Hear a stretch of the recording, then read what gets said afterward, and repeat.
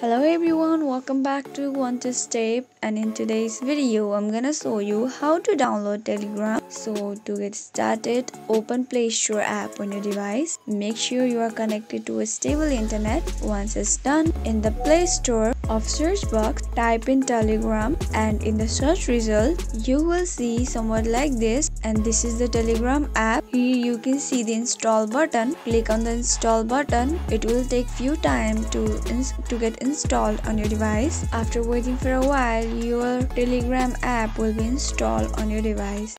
If you found the video to be helpful, go ahead and subscribe to our channel and also press the notification bell so that you'll never miss another upcoming upload from us. I'll see you again in next video. Goodbye till then.